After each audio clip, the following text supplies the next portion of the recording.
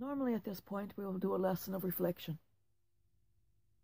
Today, for the first time, I'm going to do something of a commentary. I've titled this commentary on the Ununited Methodist Church. I'm starting it with two well known quotes for us Christians Love one another as I have loved you. Love your neighbour as yourself. We as Christians all know well the above commandments of Jesus the Christ. Love for all persons, no matter how they look, what their education or earnings may be. Love them quite simply for the fact that they were created by God and born of a human mother. To deny them love is to deny them the two basics of their humanity. First, that they were created by God. Every, crea- every creature on earth, bar none, was created by God. That after birth, upon reaching maturity and decision, the individual chooses to join the classes of evil, becoming one of the devil's creatures doesn't negate divine creation. And God makes no mistakes. We are, at birth, exactly as God intends us to be heterosexual, homosexual, transsexual. These are all by God's designs. These aren't mistakes. So too is the choice of the internal and external genitalia, and the concomitant issues when a child is born XYY and XXY. When a child is born this way, this is a challenge for the parents, not the child. But unfortunately, too often the parents have allowed hate and politics to alter their decisions they don't make the correct decision. And the parents harm the child. The second fact of humanity, born of a human woman, mother, can't any more be taken away from a person than can divine creation. Though the woman may disown the child, that is a separate issue, more linked to family dysfunction and not politics. I went through just under a third of the Gospel of Matthew and pulled out those quotes of our Lord that he would speak to the ununited Methodist Church today. Those that refuse to recognize our gay, lesbian, and transsexual brothers and sisters are antichrists, as described in our scripture of John's first epistle the past few days. The quotation directed specifically at them today is His commandment is this we should believe in Jesus Christ and love one another.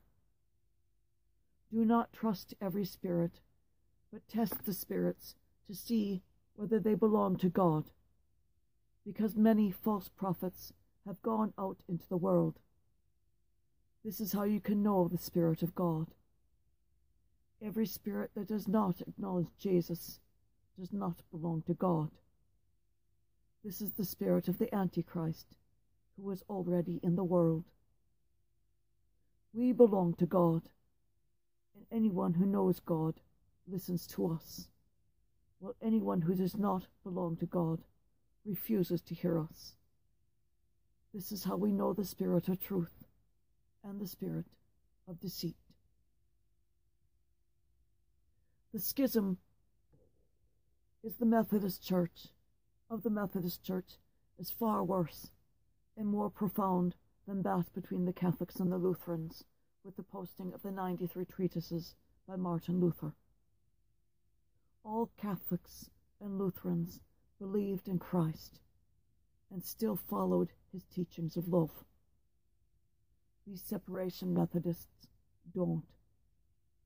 They believe in their hate as primary and more important than anything else. Their hate and their need to be politically right, far right, is more important to them than God. They are no longer Christians. For if they were, the grievous mortal sin of putting themselves and their decisions ahead of God so shows such immense hubris and hypocrisy that they didn't just come to this belief overnight. They've been under the control of the devil for a very long time, and we must pray for their souls. Here are the quotes from our Lord Jesus Christ, speaking to our former brethren. May they break free from the hold of the devil and come back to the love of the Christian community and the welcoming arms of Christ. Chapter 7 12 Do unto others whatever you would have them do to you. This is the law and the prophets. 712 Stop judging that you may not be judged. For as you judge, so will you be judged and the measure with which you measure will be measured out to you. 9, 12, 14. He heard this and said, Those who are well do not need a physician, but the sick do. Go and learn the meaning of the words, I desire mercy, not sacrifice. I did not come to call the righteous, but the sinners. 11:15 Whoever has ears ought to hear. The next one is a bit longer. 12, 25, 26. But he knew what they were thinking and said to them, Every kingdom divided against itself will be laid waste, and no town or house divided against itself will stand. And if Satan drives out Satan, he is divided against himself, and how then will his kingdom stand? Continuing with that same section, 1230. Whoever is not with me is against me, and whoever does not gather with me scatters. Continuing, 12 35, 37.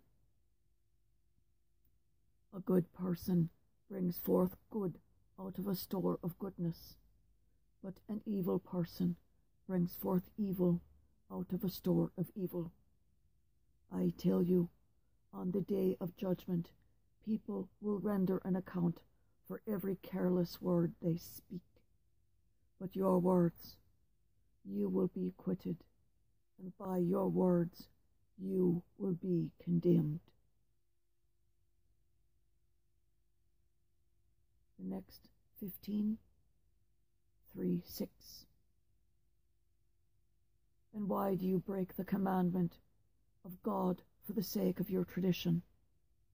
For God said, Honor your father and your mother, and whoever curses father or mother shall die. But you say, Whoever says to father or mother, Any support you might have had from me is dedicated to God, need not honor his father. You have nullified the word of God for the sake of your tradition. 15, 7, 9. Hypocrites well did Isaiah prophesy about you when he said, This people honors me with their lips but their hearts are far from me. In vain do they worship me, teaching as doctrines human precepts. Two more sections. 15, 10, 12.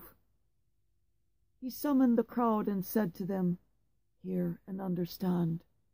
It is not what enters one's mouth that defiles that person, but what comes out of the mouth is what defiles one and the last section, 1623. He turned and said to Peter, Get behind me, Satan.